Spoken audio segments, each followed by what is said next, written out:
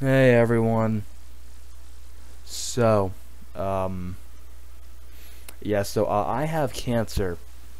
I might as well just uh, I make this thing, I might as well just uh, take you back to where this all started. So this all started on December 29th, where it was like I was getting into the car, going back to my grandparents' house, and when I got out, I was fucking dying in agonizing pain. Yeah. So, and then after that, you know, we were like managing this shit like we ran into shit with some uh, painkillers for like four days, like ibuprofen, uh, Advil, shit like that. And um, yeah, the third I got checked out, and um, they said I had a bone lesion. And then after that, we were like, you know what, yeah, it's probably an aneurysm bone cyst. We're going to see what we can do with this. So then on the 9th, I ended up getting admitted to the hospital. So then um, they did some tests on me, did some blood tests, which actually returned all normal somehow. And then at 4:30 on the 9th, they did an MRI. All right, and that came back as either Ewing sarcoma or lymphoma, one of the two. So then on the 10th, we did even more stuff I'm not sure exactly what we did, but I did know we do more. I did, we did more stuff.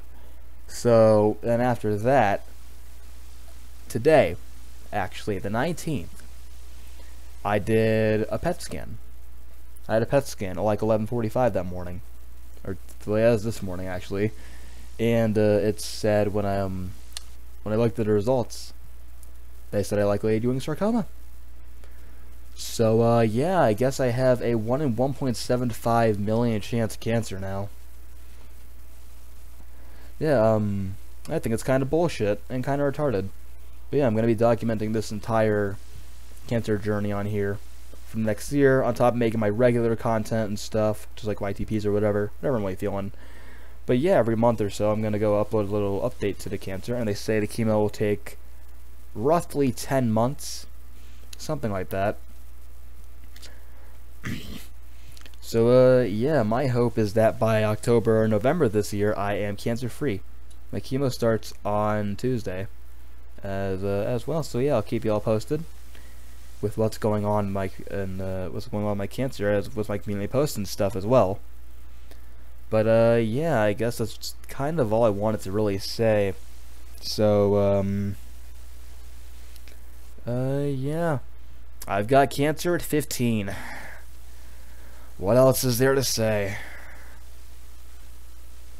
Well, yeah, um, I guess bye.